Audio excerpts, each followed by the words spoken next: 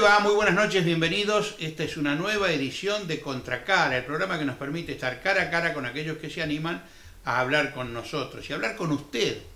¿eh? Porque con nosotros, mire, estuvimos hablando con más de media hora con nuestra invitada de hoy, que se llama Julieta Pereira y que está arañando los 30 años, apenas pasado los 30 años, y que es la secretaria de Cultura de la Municipalidad de Florencio Varela.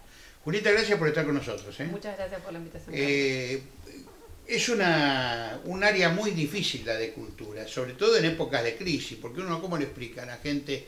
Y sí, pero hay que hacer cultura porque este, eso sirve para otra cosa. ¿Qué le decís a la gente vos? Le explico en realidad el funcionamiento desde antes de, mi llegada como funcionaria al, gobierno municipal eh, y qué estamos haciendo y cuánto hacemos, ¿no? Y, y qué, cuáles son nuestras responsabilidades.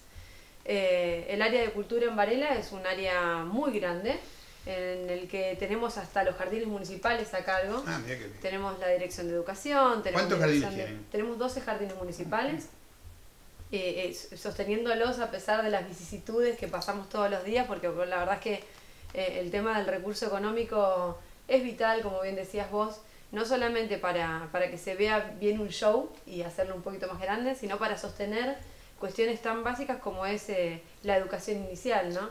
Eh, que hoy en nuestro distrito eh, viene bastante, venimos necesitando una reapertura de un jardín o un jardincito nuevo, ya que tenemos 69 escuelas primarias, 73 secundarias y 46 jardines estatales.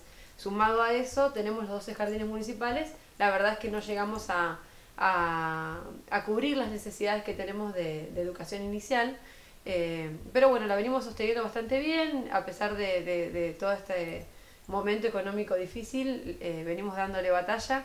Eh, a cargo también tenemos la dirección de turismo, la de teatro, actividades musicales, artes visuales. La verdad es que es un área muy grande en el que para llegar a diferentes lugares del distrito, conoces que Varela es es muy grande. Muy grande.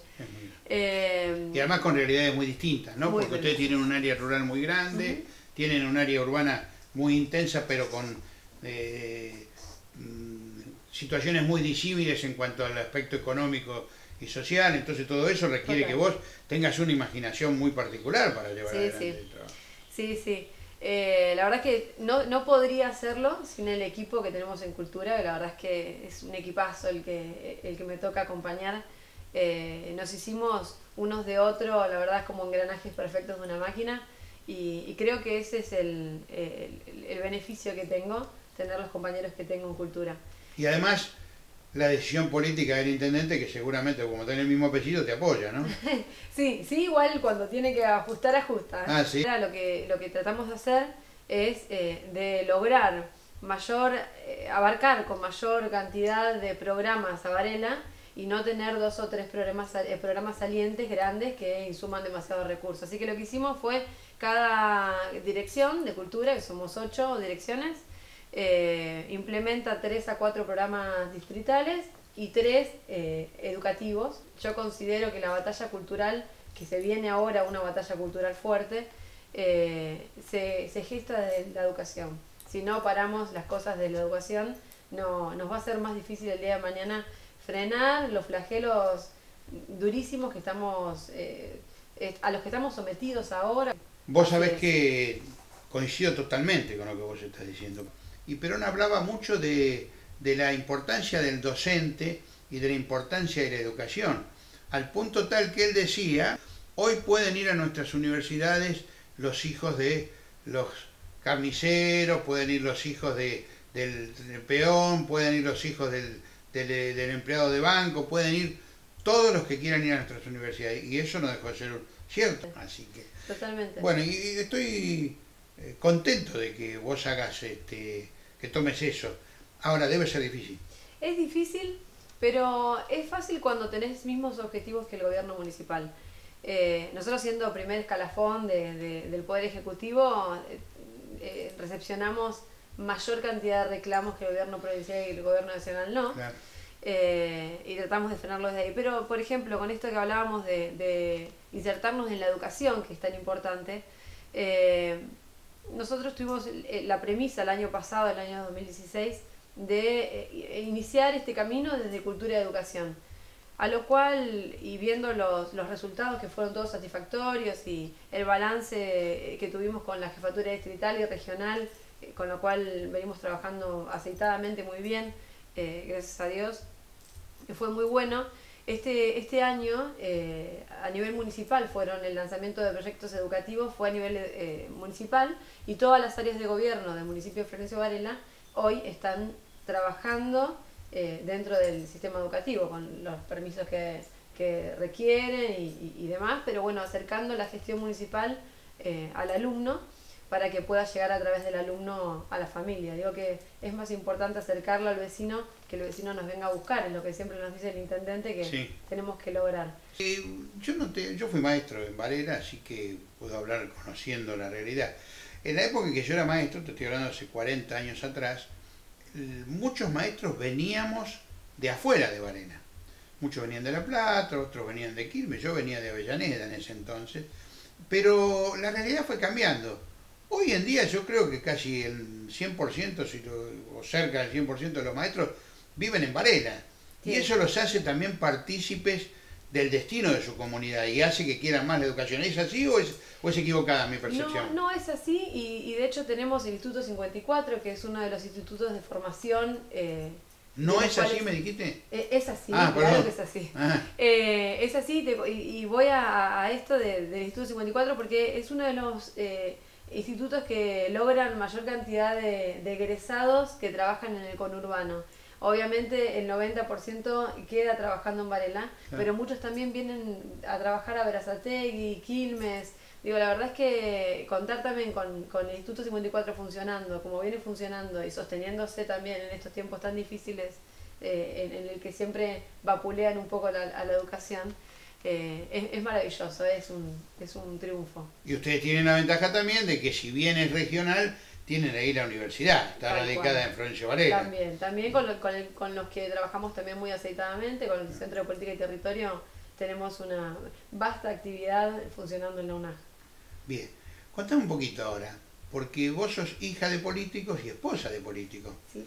Eh, ¿Cómo se vive eso? Porque supongo que a veces no estarás de acuerdo con la cosa ni que dice tu padre ni que dice tu marido, ¿no? Porque eh, eso también enriquece la relación, porque allí sí querido, sí papá, muchas veces no le sirve ni a ellos ni a vos, ¿no? Y tampoco soy de sí querido, sí papá, por empezar.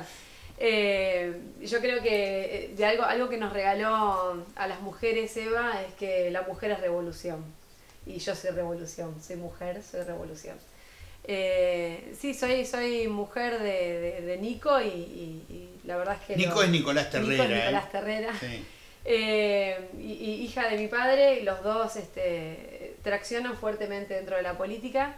Y, están en posiciones distintas. No sé tanto, digo, los dos son peronistas. Sí, sí. Eh, Pero lo enfocan de diferente manera. Busco, busco, las similitudes. Mi similitud entre ellos dos es que los dos hoy eh, pregonan por la, por la positividad del pueblo y, y no apoyan este, este tipo de medidas económicas que nos están destruyendo al país.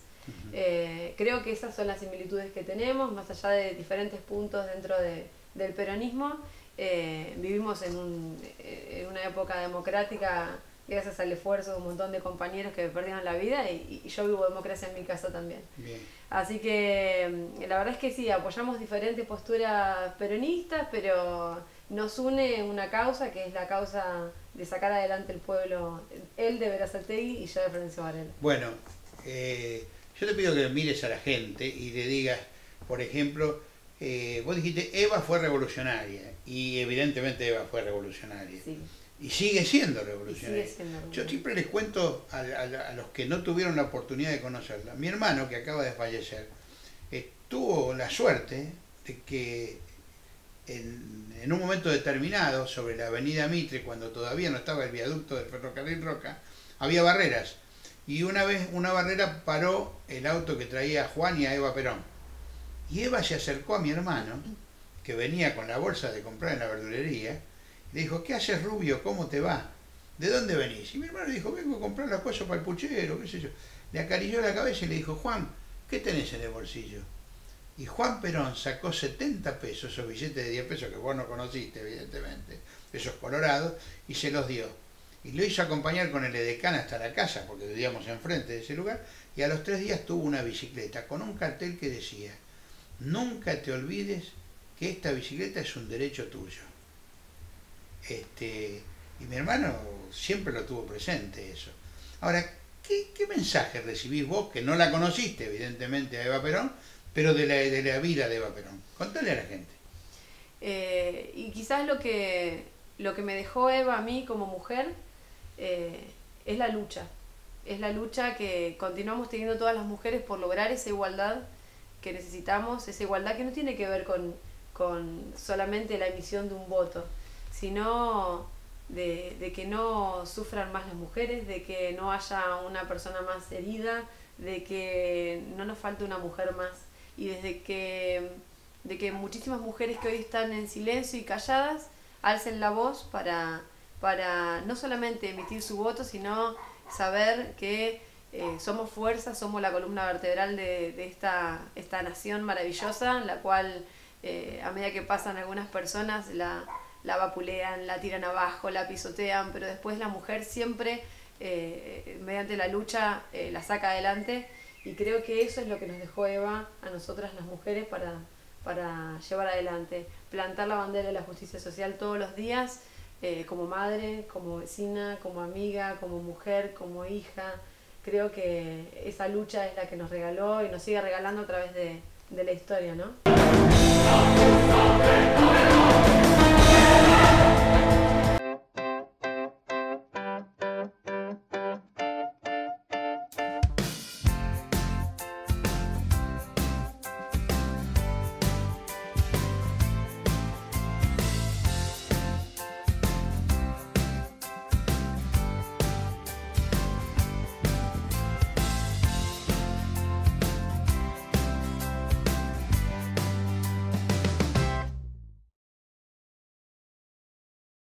Para construir, ampliar o modernizar su casa, usted tiene un aliado formidable, Corralón Fava, más de 50 años al servicio de la comunidad, con los mejores precios y calidad de toda la región. Próximamente, hormigón elaborado. Encuentre en Fava todo lo necesario para su casa. Tenemos tarjetas de crédito, no deje de consultarnos. Avenida Eva Perón, 2550 en Ranelac. Teléfonos 4258-8408 y 4258-2476. Agua de mesa envasada MUL. Agua pura, fresca, natural. Entrega a domicilio sin cargo. Pídala ya al 4223-4454 o 4215-5739 disfrútela en su hogar, en su empresa, en la escuela, en un centro sanitario, en todos lados, agua MUL, agua de mesa envasada, agua natural para todos los hogares. ¿Cuántos hijos tenés? Tengo tres hijos. ¿Tres hijos? ¿Alguna mujer? Tengo una mujer. Sí. Una mujer. Tiziana, 13 años tiene que ya debe ser revolucionaria también. Es revolucionaria.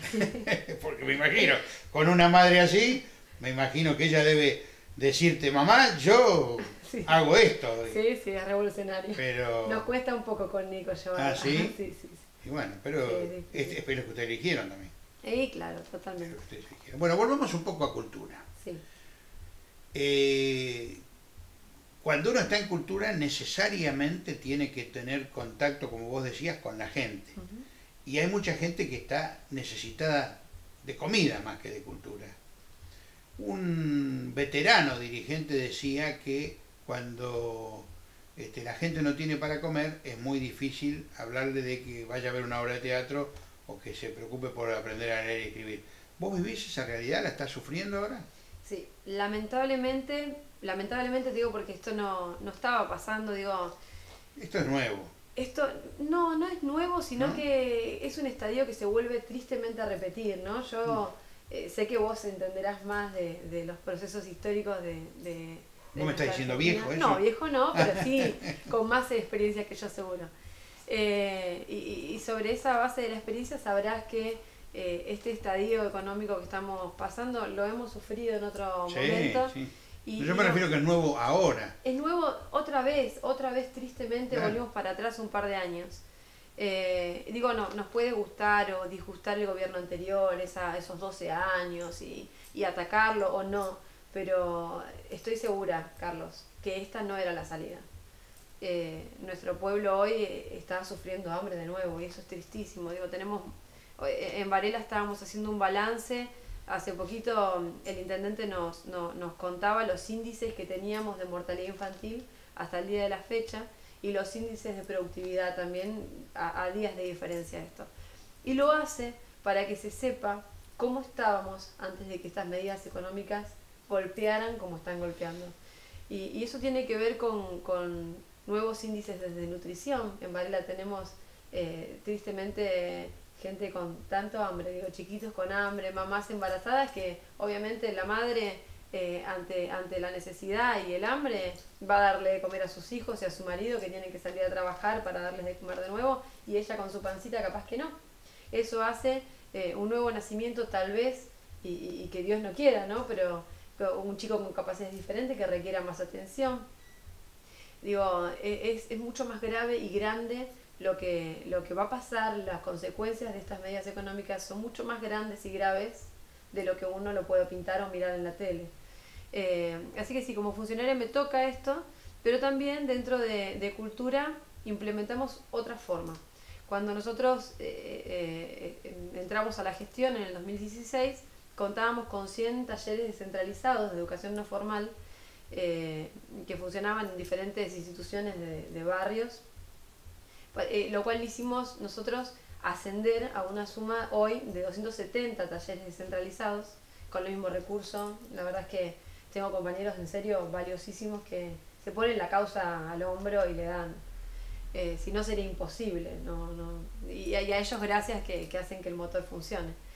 Eh, así que hoy tenemos 200 talleres, 270 eh, talleres descentralizados diferente, en diferentes instituciones, los cuales muchos de ellos tienen que ver con oficios, carpintería, manualidades, tenemos muñequería country, tenemos un montón de cosas, peluquería, tenemos diferentes eh, oficios para los cuales ahora este año sumamos desde cultura un taller de emprendimientos.